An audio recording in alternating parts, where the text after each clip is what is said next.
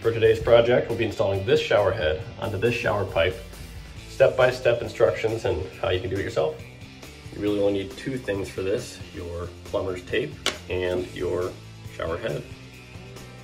Step one, you're gonna wanna take your plumber's tape and you're gonna wanna put it on in a counterclockwise motion, making sure that you are putting some tension on it so that it gets in there and stays in the grooves.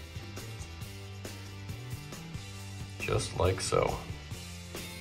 After you get about that much on there, you're gonna wanna rip it off and then you're gonna wanna smooth over the edges so it becomes nice and secure.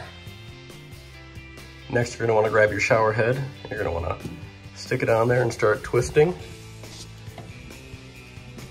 And the reason why you have to go counterclockwise is so that the threading when you're tightening does not undo your plumber's tape. Once you get it as far on as it will go, you're gonna wanna give it some extra tweaks just so that you know it's all the way on.